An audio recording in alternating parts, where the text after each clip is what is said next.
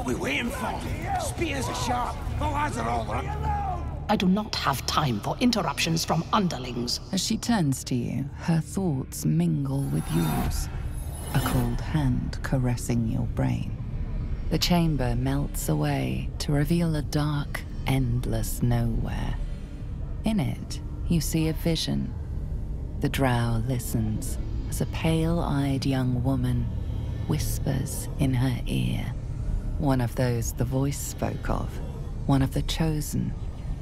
The vision fades away. A true soul? Praise be, sister. Are you here to join my hunt? Worshippers of a false god.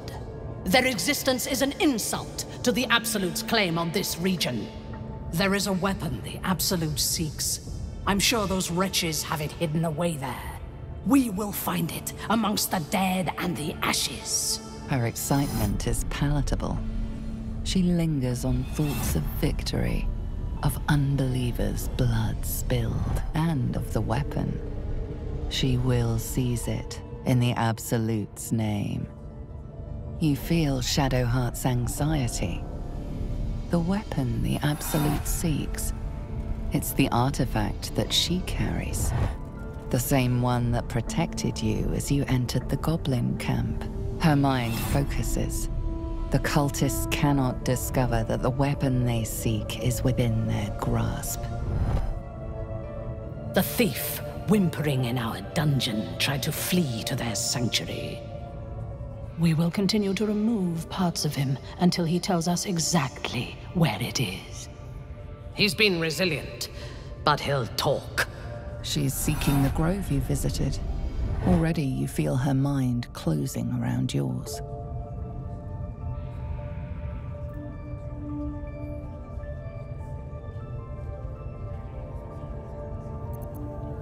Speak, true soul. The hunt must begin soon.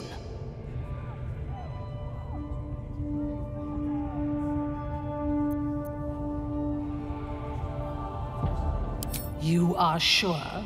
And how did you find it? Praise be.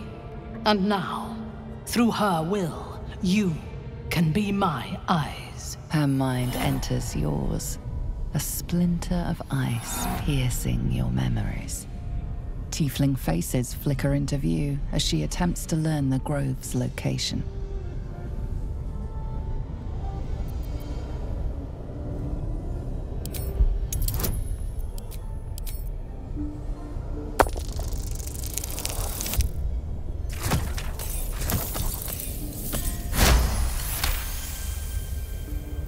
See only fragments. Your mind is confused. Do what you must to clear it. The village to the east. It's abandoned.